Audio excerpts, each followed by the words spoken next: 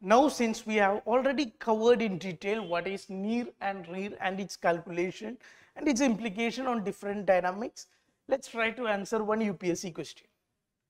An increase in nominal effective exchange rate indicates appreciation of rupee.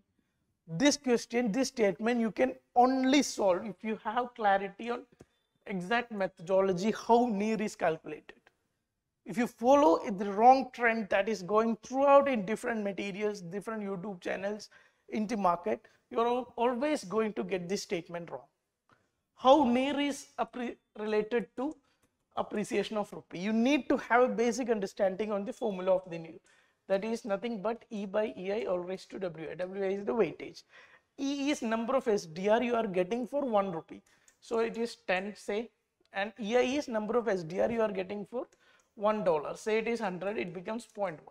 Now rupee appreciates that means you will now get more dollars for no more as SDRs for 1 rupee. Say it is 20 divided by hundreds because then it is 0.2.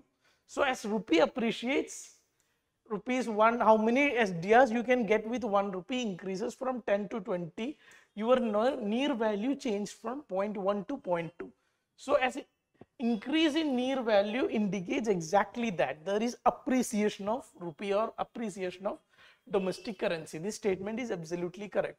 Now an increase in the real effective exchange rate indicates improvement in trade competitiveness. I already told real effective exchange rate is indeed an indicator of trade competitiveness. But an increase, you see a country's REER is 90.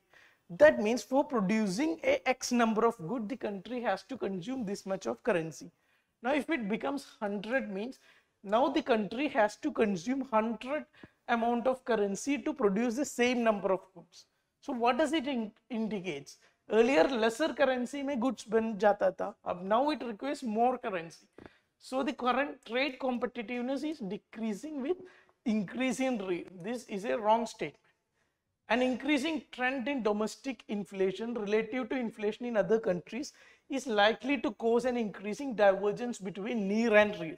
That is exactly correct because NEER REER is technically nothing but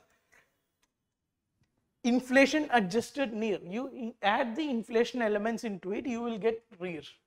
So in this context, there is higher the divergence between inflation in two countries, higher is going to be the divergence between NEER and REER. So this is an absolutely correct statement. So what you are left with answer is 2 is a wrong statement. Answer is C, 1 and 3 only. That's all for now. Thank you.